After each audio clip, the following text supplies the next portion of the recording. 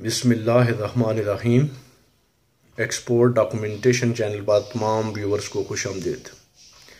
Viewers آج کا جو ٹیٹوریل ہے، یہ پرٹیکولر پاکستان کے ایکسپورٹرز کے لیے ہے۔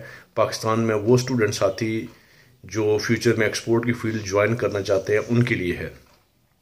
انہیں میں بتاتا چلوں کہ ایکسپورٹ کرنے سے پہلے پاکستان میں ایک ایکسپورٹ ڈاکومنٹس بنتے ہیں، سوری کسٹم ڈاکومنٹ بنتے ہیں ایکسپورٹ کے لیے۔ کسٹم کلینس کے لیے کسٹم ڈاکومنٹس بنائے جاتے ہیں، اس میں فارم ہی ہوتا ہے۔ یہ آپ کا بینک جہاں آپ کا اکاؤنٹ ہے، وہاں سے ایشو ہوگا۔ آج کل الیکٹرانک ہی فارم ہے، اس کے اندر پروڈکٹ کی ساری ڈیٹیلز ہوتی ہیں سپلائر کی ڈیٹیل ہوتی ہیں۔ اچھا اس کے بعد آپ کو ایک کسٹم انوائس بنانا پڑے گی، جس میں پروڈکٹ کی ڈیٹیل ہوگی، جو لوکل مارکیٹ میں پروڈکٹ ہے۔ مے بی ایل سی کے اندر جو پروڈکٹ کا نام ہے سپوز ساکس ایل سی کے اندر آپ ساکس ایکسپورٹ کرنا چاہتے ہیں، اس نے ساکس لکھ دیا۔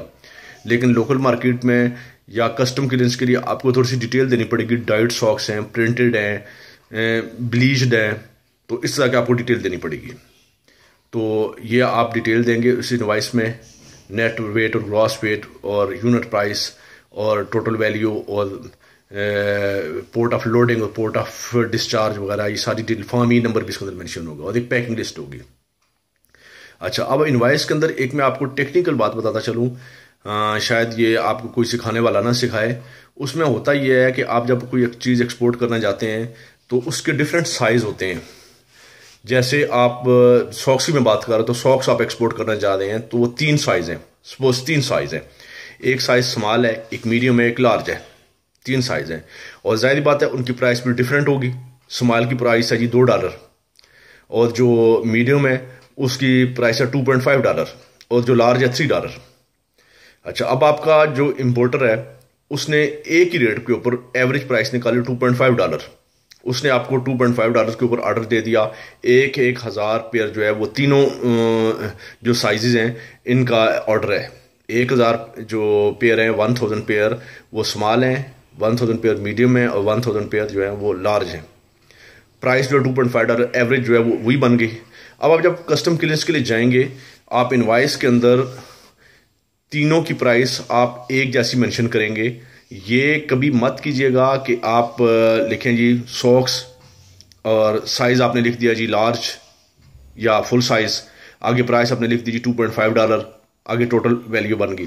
پھر دوسرے نمبر پہ آپ گئے، آپ نے لکھا جی ساکس سائز میڈیم پرائس پھر ٹو پوائنٹ فائیو ڈالر اور پھر آپ نے تیسرے نمبر پہ جائیں گے، آپ پھر پرائس لکھیں گے جی سیم تو ایسی صورت میں کسٹم جو ہے وہ ڈاؤٹ میں پڑ جاتا ہے کہیں آپ انڈر انوائسنگ کر رہے ہیں یا اوور انوائسنگ کر رہے ہیں، کیونکہ لارج کی پرائس بھی آپ وہی دے رہے ہیں، جو فل سائز ہے اس کی پرائس بھی آپ وہی دے رہے ہیں اور میڈیم کی بھی وہی دے رہے ہیں اور جو اسمال سائز ہے اس کی بھی وہی دے رہے ہیں۔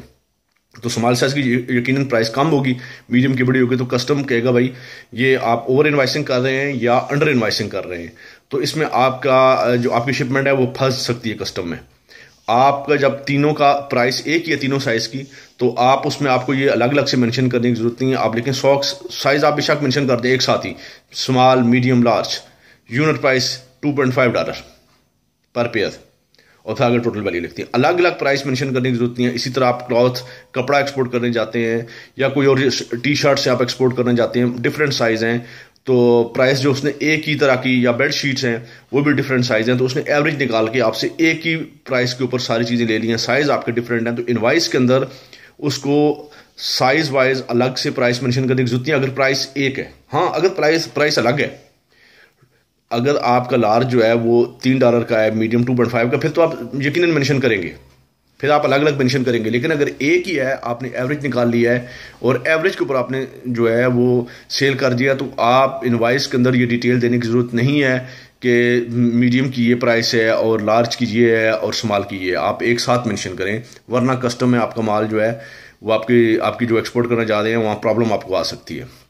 دوسری چیز، یہ ساری ڈیٹیل جو آپ دیں گے، پھر پیکنگ لسٹ میں آپ پیکنگ لسٹ میں تو پرائس نہیں مینشن ہوتی. آپ اس میں جیتے تھے یونٹ نمبر ون سے جو سوری کارٹن نمبر ون سے کارٹن نمبر اتنا تک. جو بھی آپ کی پیکنگ ڈیٹیل ہے یا بیل ہے یا کارٹن ہے، جس میں بھی آپ نے چیز پیک کی ہوئی ہے، تو جو ہے کارٹن نمبر ون سے لے کر کارٹن نمبر ٹوئنٹی تک یہ سائز ہے. کارٹن نمبر ٹو سے تھری ٹوئنٹی ون سے ففٹی تک یہ ہے. تو وہ جس طرح بھی آپ نے پیکنگ کی ہوئی ہے، آپ اس طرح ڈیٹیل دے دیں گے. لیکن انوائس کے اندر جو ہے وہ آپ اگر پرائس ایک ہے تو ایک ساتھ ہی یونٹ پرائس منشن کر کے آپ ٹوٹل ویلیو اس کی نکال کے وہاں منشن کر دیں۔ الگ الگ یہ کبھی نہ کریں، ورنہ کسٹم میں آپ کو پرابلم آ جائے گی۔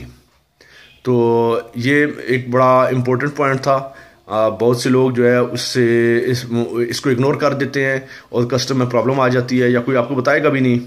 تو یہ آپ اپنے ذہن میں ضرور رکھیے کہ اگر یونٹ پرائز جو ہے وہ ایک ہی ہے تمام پروڈکٹ کی، تو ایک ہی جگہ مینشن کریں، چاہے سائز ڈفرینٹ ہوں چاہے سائز ڈفرینٹ ہوں سائز وائز الگ الگ مینشن کرنے کی ضرورت نہیں ہے انوائس کے اندر کسٹم انوائس کی بات کر رہا ہوں میں، ٹھیک ہے؟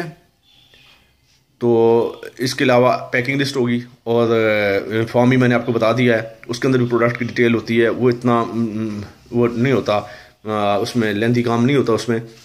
یا آپ جو ہے یہ ڈاکومنٹ اس کے علاوہ جو ہے سیل ٹیکس انوائس یہ بھی بنتی ہے بعض اوقات۔ آپ کا جو کسٹم کلینک ایجنٹ ہے، آپ اس سے گائیڈ لائن لے سکتے ہیں۔ پھر یہ سارے ڈاکومنٹ آپ جو اپنے کسٹم کلینک ایجنٹ کو دیں گے۔ وہ جی ڈی گڈس ڈکلیریشن وہ فائل کرے گا تو آپ کا جو پروڈکٹ ہے، جو آپ کی کارگو ہے، وہ پھر کلیئرنس میں جائے گی کلیئرنس کے بعد کسٹم اس کو کلیئر کرنے کے بعد آگے شپنگ کمپنی ہینڈ اوور کر دیں گے، ٹھیک ہے؟ تو اس میں اگر آپ کے ذہن میں کوئی کوشچن ہو تو آپ کمنٹس میں لکھیے۔ جو جو آپ کو خامی نظر آئے، آپ اس کی بھی نشاندہی کیجیے۔ جو آپ بہتر سجیشن دے سکتے ہیں، وہ بھی آپ مجھے بتائیے۔ جو آپ مجھے گائیڈ کر سکتے ہیں، وہ بھی کیجیے۔ میں بھی انسان ہوں، میرا نالج بھی لمیٹڈ ہے، میرے پاس جو نالج ہے، کوشش کرتا ہوں دوسروں سے شیئر کروں۔ آپ بھی ایسا کیجیے تو میرے چینل کو آپ سبسکرائب کیجیے اور شیئر کیجیے ٹھیک ہے؟